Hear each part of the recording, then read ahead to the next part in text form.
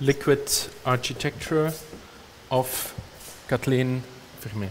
Yep, it's one of the two video pieces that are shown here. The other one is water drawing.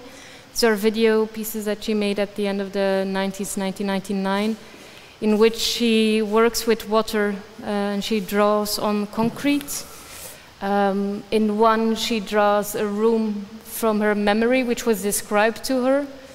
And uh, in the other one, she draws a room which, based on the position of the camera, you can see in 3D or you can only see in 3D uh, perspective from the position of the camera.